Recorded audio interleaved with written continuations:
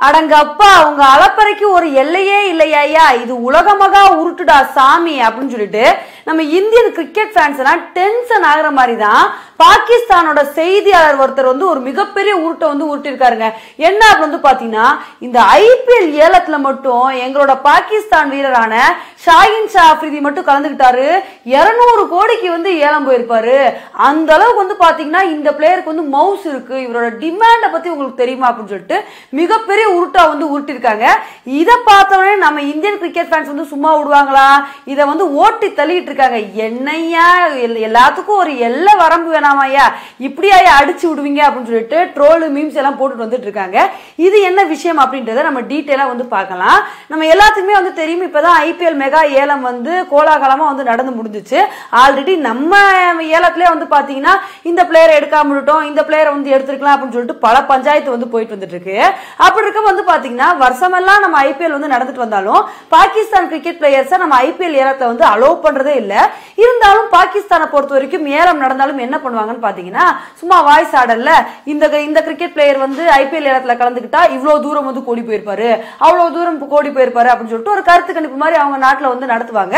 அப்படி இருக்கப்ப இந்த வருஷமும் அதே மாதிரியே வந்து நடத்திருக்காங்க. அதுல ஒரு செய்தியாளர் என்ன சொல்லியிருக்காருன்னா பாகிஸ்தான் கிரிக்கெட் பிளேயரான ஷாகின் ஷா அஃப்ரிதி மட்டும் இந்த ஐபிஎல் ஏலத்துல கலந்துக்கிட்டாரு இருநூறு கோடிக்கு ஏலம் போயிருப்பாருப்பா. மனுஷன் அந்த அளவுக்கு வந்து இளம் வேகப்பந்து வீச்சாளர்ல இவர் தான் வந்து ஒரு மிகப்பெரிய டிமாண்டா வந்திருக்காரு. அதனால அவ்வளவு ஏலம் வந்து போயிருப்பாரு. இவர் மட்டும் கலந்துக்கிட்டு அப்படின்ற மாதிரி வந்து சொல்லிட்டாங்க. ஆல்ரெடி அஃப்ரிதி மேல நம்ம இந்தியன் கிரிக்கெட் ஃபேன்ஸ்லாம் செம்ம கான்ல இருக்காங்க அப்படின்னு சொல்லிட்டு நமக்கே வந்து தெரியும். ஏன்னா டி டுவெண்ட்டி வேர்ல்டு கப்புக்கு அகைன்ஸ்டா வந்து பாத்தீங்கன்னா நம்ம இந்தியா கூட பாகிஸ்தான் நடந்த மேட்ச்ல மூணு விக்கெட்ஸ் வந்து இவர் தான் வந்து எடுத்தாரு. எடுத்தது மட்டும் இல்லாம நம்ம இந்தியன் கிரிக்கெட் டீமை ரொம்பவே டீஸ் பண்ற மாதிரி ஒரு சில விஷயங்கள் வந்து பண்ணாரு. எப்படிலாம் வந்து நான் அந்த விக்கெட்ஸ் எடுத்தேன்னு சொல்லிட்டு கிண்டல் பண்ற மாதிரி அந்த வீடியோலாம் வந்து சோஷியல் மீடியால வைரலா வந்து போச்சு. அப்படி இருக்கப்ப இந்த ஒரு விஷயம் வந்தா சும்மா விடுவாங்களா? சிக்குனாண்டா சிவனாண்டின்னு சொல்லிட்டு நம்ம இந்தியன் கிரிக்கெட் ஃபேன்ஸ் ஓட்டி தள்ளிட்டு இருக்காங்க என்னப்பா ஐபிஎலுக்கு ஒரு டீமுக்கு செலவு பண்ற காசே வந்து தொண்ணூறு கோடி தொண்ணூத்தஞ்சு கோடி அவ்வளவுதான்ப்பா. அப்படி இருக்கப்போ ஒரு கிரிக்கெட் பிளேயருக்கு போய் இருநூறு கோடி கொடுத்து எடுப்பாங்களாப்பா? நடக்கிறத பேசுங்கயா அப்படின்னு சொல்லிட்டு ஓட்டி தள்ளிக்கிட்டு இருக்காங்க அது மட்டும் இல்லாம இந்த ஷாயின் ஷாஃப்ரிதி வந்து அப்பப்போ வந்து இந்த சமூக வலைதளங்கள் வந்து ஏதாவது வந்து ஒரு நியூஸை வந்து கொடுத்துட்டு போயிடுறாருங்க. இப்படிதான் வந்து பாத்தீங்கன்னா கொஞ்ச நாளைக்கு முன்னாடி பங்களாதேஷ் விசஸ் பாகிஸ்தானுக்கு அகைன்ஸ்ட் நடந்த மேட்ச்ல வந்து பாத்தீங்கன்னா இவர் இவர் போட்ட பால்ல பேட்ஸ்மேன் வந்து ஒரு சிக்ஸ் அடிச்சிட்டாரு. அதுக்கு கடுப்பான அஃப்ரிதி வந்து பாத்தீங்கன்னா அடுத்த பால்ல வந்து பார்த்து போட்டு அந்த பேட்ஸ்மேனே வந்து சுருண்டு விழ வச்சுட்டாரு. சுருண்டு விழுந்த பேட்ஸ்மேனால எந்திரிச்சு கூட நிக்க முடியல. அந்த அளவுக்கு வந்து மிகப்பெரிய அடியா வந்து போயிடுச்சு அப்ப கூட வந்து பாத்தீங்கன்னா ஷாயின் ஷா அஃப்ரிதி மேல ஒரு மிகப்பெரிய எதிர்ப்பு வந்து சோசியல் மீடியால பரவிட்டு வந்துச்சு.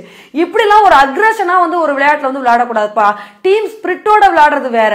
இது வந்து பாத்தீங்கன்னா கொஞ்சம் ஆக்ரோஷமா வந்து விளையாடுறாரு. கண்டிப்பா அஃப்ரிதி மேல ஏதாவது ஒரு நடவடிக்கை எடுக்கணும்னு சொல்லிட்டு அந்த அளவுக்கு எதிர்ப்புகள் வந்து போயிட்டு வந்துட்டு இருந்துச்சு. இந்த மாதிரி அப்பப்ப ஏதாவது ஒரு சர்ச்சைக்குள்ள வந்து அஃப்ரிதி வந்து சிக்கிக்கிறாரு. இப்ப பாத்தீங்கன்னா அவர் பாட்டுக்கு செவனேன் தான் வந்து இருந்தாரு ஆனா வந்து பாத்தீங்கன்னா இந்த பாகிஸ்தான் செய்தியாளர் தான் வந்து பாத்தீங்கன்னா அவரை வந்து இந்த வரைக்கும் இழுத்து விட்டுட்டாரு.